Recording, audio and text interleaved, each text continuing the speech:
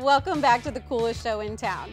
Spring has sprung, and if you're anything like me, organization and spring cleaning is on your mind. And our next guest, Closet Factory, have everything to do with that, but they are so much more than just organization and closets. Please join me in welcoming the owner, Jeff. Hey, Jeff.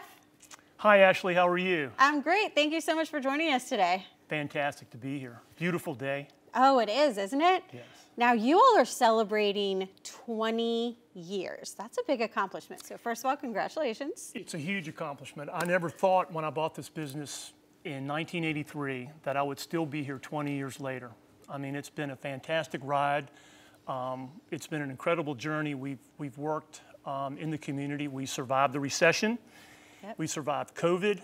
Um, and, you know, now we're, we're glad to be here today and be able to talk about what we do.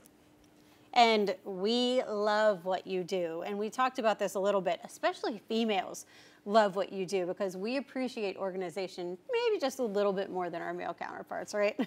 yeah, guys don't really appreciate it as much as, as, um, as women do. And I, I was telling you a few minutes ago that I just did my closet three years ago. And until I did that, I really didn't realize how much organization helps your day. Yeah. When you're organized, you feel better about your day, you feel You better. do. It's a great start. So that kind of leads me into my next question. What kind of benefits have you seen the families in Hampton Roads get from your organization and from your business?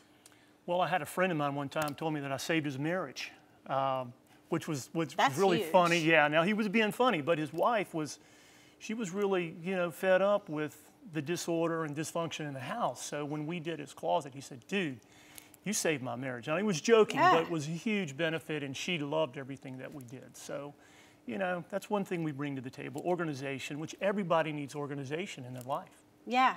And I was telling you this before we got started too. When when you're unorganized and things are out of place in the home, it kind of trickles down to every part of your life. Where like for me, if I'm leaving the house to come here for the day to work and everything's out of place, I'm more stressed leaving because I know I'm coming home to a big mess. But having the organization that you all provide actually is stress relief.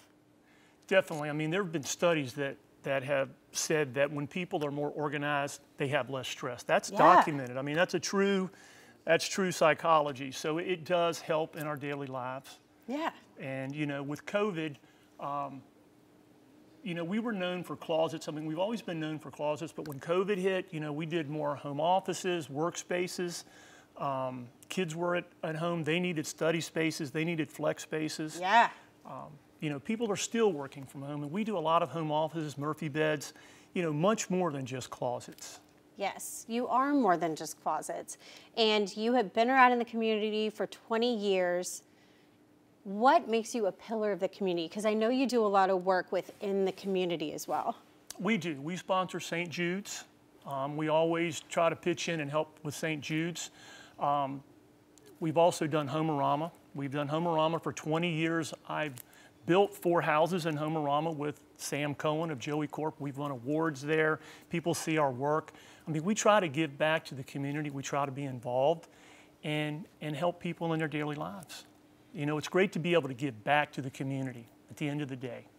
And St. Jude's is such a great organization to partner with too. I've done a little bit of work with Saint, the St. Jude's Dream, Dream Home. Yes. And it's always amazing to see the stories of those children. Yes, it is. And I've also given, um, you know, we work with the animal shelters. I'm a big animal guy, I love that. you know, so I give to the shelters and try to help them out. And, you know, I'm a lifelong resident of, I was, grew up in Chesapeake. I live in Sandbridge now, but I've been here my whole life. So to be able to work in this community, to give back to the community, to be a part of the community, it's special. So you just said you grew up in Chesapeake. What part? Deep Creek. Me too. Well, I didn't grow up there, but I live there now. How cool is that? Right? Yeah, yeah, So then you went to ODU. correct. What is your favorite part of Hampton Roads being a native? Oh my gosh, there's so much. I mean, you couldn't pick a better place to grow up than Deep Creek. It's a special place. I loved it. Um, and, you know, I've been in Sandbridge for the last 37 years, and that's a special place because I love the ocean. I love the beach. I love the paddleboard. I love the community. So, you know, Hampton Roads has something to offer everybody. And you're only three, four hours away from the mountains. Yeah. Well, thank you so much for joining us, Jeff. It has been a pleasure. It has been a great pleasure. Nice to meet you, and thanks for having me. Thank you. And you guys make sure you check out all of their projects at Operation Reorganization.